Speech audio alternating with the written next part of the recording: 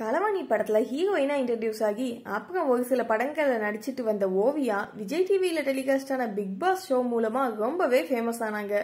ஓவியாக்குனே அவங்களோட fans social மீடியால ஓவியா ஆர்மியை உருவாக்கி ட்ரெண்ட் பண்ணாங்க. பிக் பாஸ்க்கு அப்புறம் நைன்டி எம்எல் கலவாணி டூ படங்கள்ல நடிச்ச ஓவியாவுக்கு இப்போ கைவசம் ஒரு படம் கூட இல்ல. இந்த நிலையில யோகி பாபு ஹீரோவா நடிக்கிற ஒரு படத்துல அவருக்கு ஜோடியா நடிக்க ஓவியா கமிட் ஆகி இருக்காங்க யோகி பாபு ஓவியா நடிக்கிற இந்த படத்தோட பூஜை சென்னை சாலிகிராமத்துல உள்ள பாலு மகேந்திரா ஸ்டுடியோல நாளைக்கு நடக்க இருக்கு. இன்னைக்கு படத்தோட டைட்டில படத்தோட டீம் அனௌன்ஸ் பண்றாங்க. இந்த மாதிரி இன்ட்ரெஸ்டிங்கான சினிமா அப்டேட்ஸ்க்கு மேஜிக்கல் சினிமா சேனலை சப்ஸ்கிரைப் பண்ணுங்க.